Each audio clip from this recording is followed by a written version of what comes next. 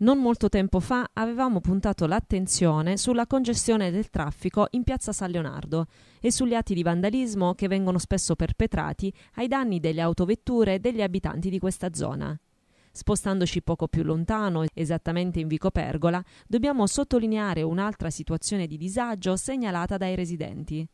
Questo caratteristico vicolo del centro storico presenta una particolare pavimentazione costituita da acciottolato ai lati e da una sezione centrale in pietra levigata che dovrebbe rendere più agevole il transito per i disabili e per le donne che portano con sé i propri bambini in carrozzina.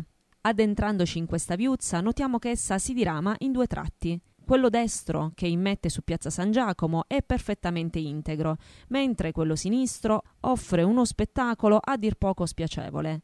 L'acciottolato qui scompare del tutto e al suo posto notiamo solo voragini e buche di enormi dimensioni.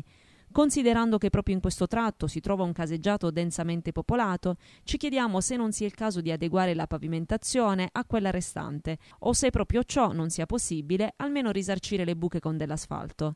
Vico Pergola dovrebbe essere un fiore all'occhiello del nostro centro, considerando che qui si trova la scuola di specializzazione per le professioni legali, che richiama giovani da tutta la capitanata e dalle regioni vicine, e che durante il periodo natalizio si svolge ormai da tre anni la caratteristica rappresentazione del presepe vivente, in grado di attirare tutta la popolazione lucerina.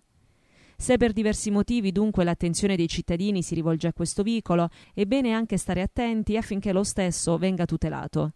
Si tratterebbe in fondo di un intervento di lieve entità e di intervenire preventivamente affinché le piccole cose trascurate non diventino un giorno problemi insormontabili è sempre il modo migliore di agire.